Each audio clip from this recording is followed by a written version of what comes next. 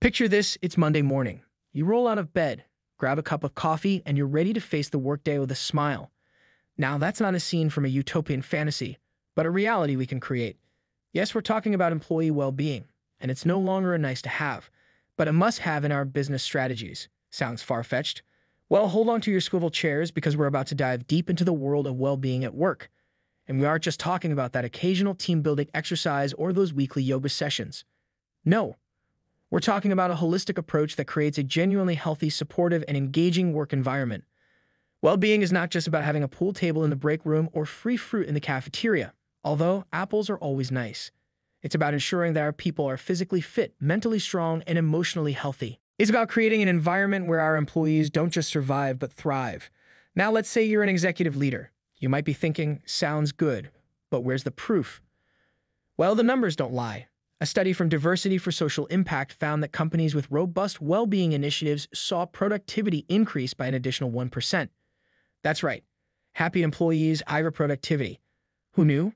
You see, prioritizing well being isn't just about being nice to our employees, it's a strategic move that delivers tangible business outcomes.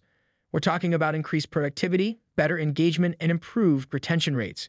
And if that isn't impressive enough, these trends aren't confined to one corner of the globe.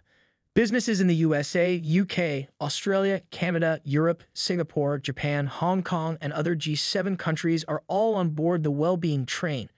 It's clear as day, investing in well-being works wonders and not just for the employees. And the best part? It begins at the top.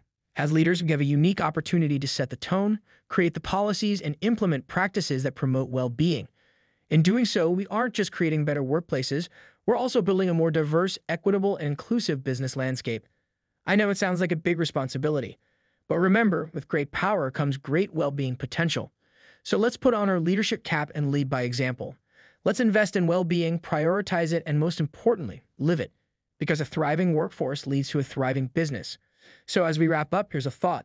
Imagine a world where every day feels like bring your pet to work day, not because there are dogs and cats running around, but because we all feel just as happy, comfortable, and engaged. That's the power of prioritizing well being in the workplace. Well, there you have it. That's the world of employee well being in a nutshell, or should we say, in an office cubicle. Until next time, remember healthy employees, happy business. So let's make well being work for us. After all, we're in this together, one workday at a time.